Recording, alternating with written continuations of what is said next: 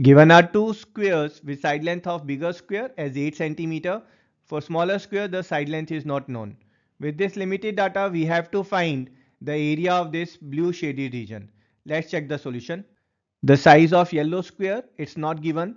That means if we take a smaller square or bigger square, the answer should remain same. Otherwise, question will become invalid.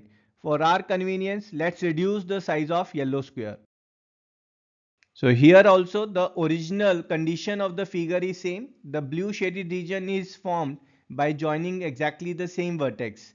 So let's reduce this yellow shaded region to a point square.